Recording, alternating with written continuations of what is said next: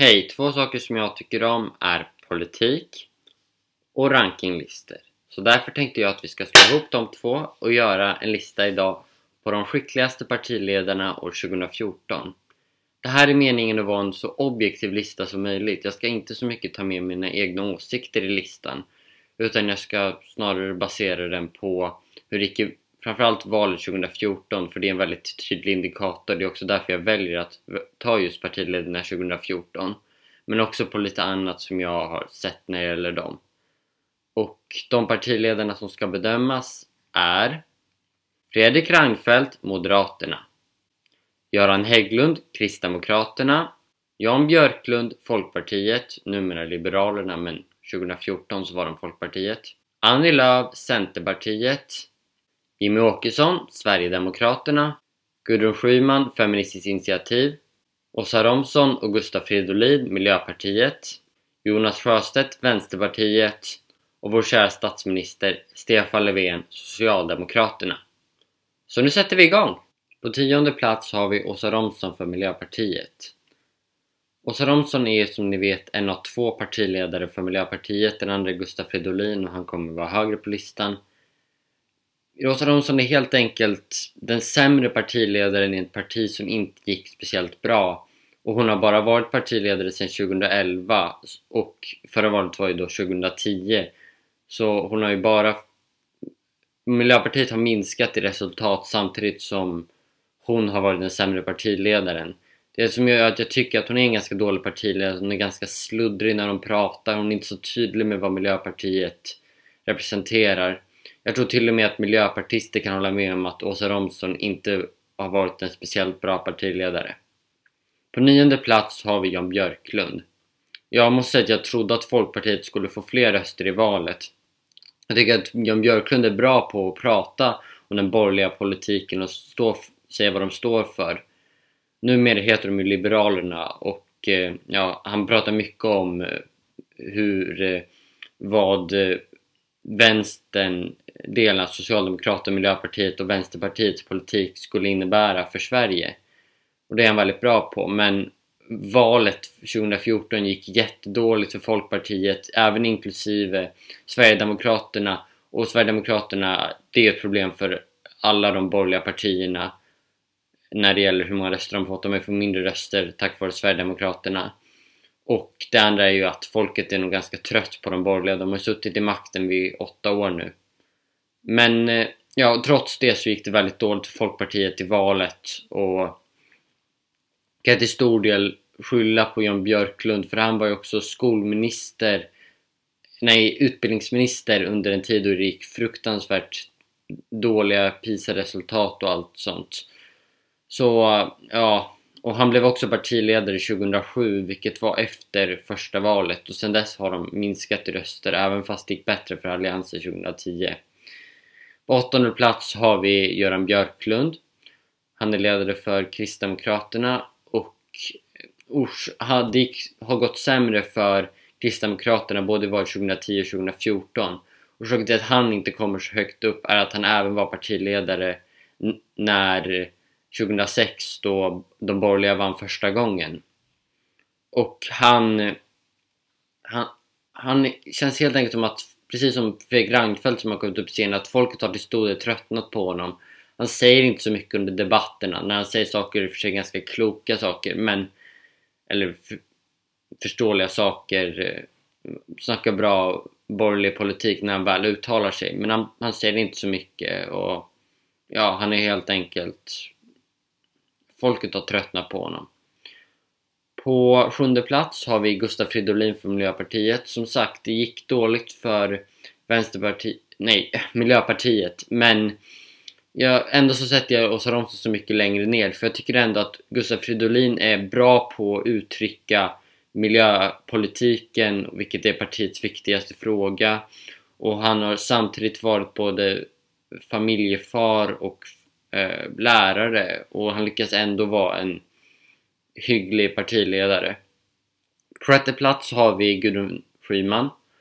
Och här har vi ett problem. Jag, eftersom Gudrun Schyman inte har varit med i partiledardebatterna eller så debatter i riksdagen som jag kollar på eftersom det partiet haft så lite, hon har inte suttit i riksdagen så vet inte jag så jättemycket om Feministinitiativ. Jag vet inte om den feministiska rörelsen som gjorde att de fick 3,2% i valet 2014 berodde på att hon har lyckats få fram den rörelsen eller om det berodde på att det har kommit en feministisk rörelse av andra orsaker. Så jag sätter henne ungefär i mitten. Och jag, en annan sak som är viktig att nämna är att när jag snackar Gudrun Schyman så snackar jag inte om hennes när hon var partiledare för Vänsterpartiet. Då hade hon förmodligen varit mycket högre på den här listan. Utan bara när det var Feministinitiativ och då sätter jag henne i mitten. Och hon fungerar ungefär som en brytpunkt. Partiledarna som kommer därefter skulle jag kalla för hyfsat lyckade partiledare. De som var här innan skulle jag kalla för ganska misslyckade partiledare. Ehm, på femte plats har vi Annie Lööf.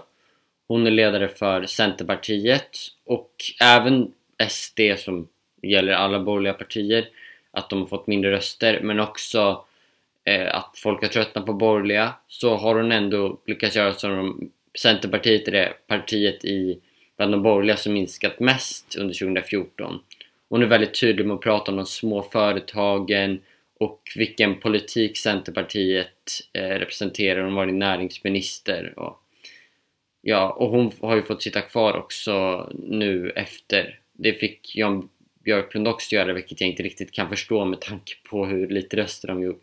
Men hon fick ju sitta kvar och eh, jag tycker hon är väldigt tydlig med vad Centerpartiet representerar och hon re representerar det partiet som minskade minst i valet 2014. På fjärde plats har vi vår käre statsminister Stefan Löfven. Uh, han eh, ökade i valröster sen ett helt värdelöst val Eh, år 2010, marginellt. Det var ungefär en procentenhet. Och Ja, jag tycker att han är som en tydlig ledare för vårt land. Han, Socialdemokraterna känns som ledarpartiet för Sverige när han är ledare. Och eh, jag tycker också att han... Eh, Socialdemokraterna tar lång tid på sig att fatta beslut men jag tycker ändå att det finns som... De är som arbetarpartiet. De, de tar tid på sig men de fattar bra politiska beslut och han är ändå en ganska bra ledare för det svenska folket. På tredje plats har vi Fredrik Reinfeldt. Och han... Det gick jättedåligt för Moderaterna valet 2014. De minskade med nästan 7 procentenheter vilket är helt sannolikt mycket. Men då får man också tänka in Sverigedemokraterna och allt sånt. Och att som sagt folket förmodligen tröttnar på de borgerliga. Men orsaken till att han ändå är så högt är att han trots allt skapade Nya Moderaterna och han skapade Alliansen som var ett riktigt succékoncept.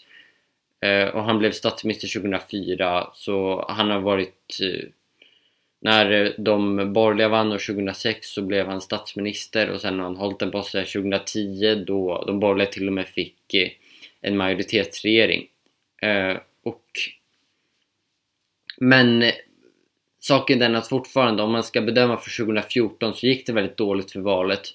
Och folket har ju ännu mer än Göran Björklund tröttnat på vår statsminister. Han låter så otroligt tråkig. Och det finns till och med en app som heter Somna med Reinfeldt där man får lyssna på när han pratar och man ska somna till det vilket jag i och för sig inte gör för jag är lite för intresserad av politik för det eh, så det funkar inte bra för mig, men det kanske funkar för dig. Och på andra plats har vi Vänsterpartiets partiledare Jonas Sjöstedt. Och här är den som jag absolut svårast att vara objektiv med. För jag personligen tycker jättemycket om Jonas Sjöstedt. Han är orsaken till att jag personligen håller på Vänsterpartiet och förmodligen kommer rösta på Vänsterpartiet i nästa val. Jag jag tycker att han står som för en trygghet när Vänsterpartiet, han liksom nyanserar Vänsterpartiet när det gäller när det gäller vad de står för. De är inte kommunister utan de är för eh, att det ska vara jämlikhet och sådant. Och när man går efter valet så de ökade marginellt, vilket alltså nu har ju folk tröttnat på en borgerlig och så, men man får också tänka in att när det gäller Vänsterpartiet så lär de ju ha förlorat många röster till Feministiskt initiativ som fick då hela 3,2 procentenheter. Om vi säger att två av de procentenheterna var vänsterpartister innan, nu vet inte jag om det stämmer, men eh, Vänsterpartiet har som stor del sin politik eh, jämställdhet, jämställdhetspolitik mellan män och kvinnor. Och det är ju det som Feministiskt initiativ står för. Så många som har gått till Feministiskt initiativ har nog gått därifrån på grund av Vänsterpartiet och trots det håller de sig uppe på sådana siffror tycker jag ändå är ett bra valresultat. Okej, nu kommer vi till första platsen och jag tror att ingen kommer bli förvånad över att Sveriges skickligaste partiledare är Jimmy Åkesson, Sverigedemokraterna. Oavsett om du tycker om honom, vilket jag absolut inte gör, eller avskyr honom. Jag avskyr inte honom. Jag, av, jag tycker verkligen inte om Sverigedemokraterna, men han som partiledare avskyr jag inte på samma sätt som jag avskyr Sverigedemokraterna. Så kan du inte säga att Jimmie Åkesson inte är en fruktansvärt skicklig partiledare. Han har ju som nyanserat SD som att de inte är rasister, de är främlingsfientliga och det är politiken som behövs i Sverige. Man kan nämna också att innan så har SD ökat i popularitet men han har ju som tagit det till nästa steg där han har nyanserat det på ett jättebra sätt och fått med sig det svenska folket och har ni tittat när han debatterar, han är ju hur skicklig som helst. Han är en av få SD som verkligen kan snacka om annan politik än invandring och ändå vara så vinna de debatterna. De flesta debatterna jag ser med SD de flesta debatterna jag ser när, med Jimmie Åkesson vinner han enligt min åsikt. Och eh, ja, har ni exempelvis sett när han snackar om du var inte i min sandlåda med sån här när han förklarar om sin barndom. Han använder som humor på ett väldigt skickligt sätt och han är ju otroligt bra retoriker. Så ja, det går inte att förneka att Sverigedemokraterna har den skickligaste partiledaren. Oavsett om du Oavsett om du hatar eller älskar honom Jimmy Åkesson är Sveriges skickligaste partiledare.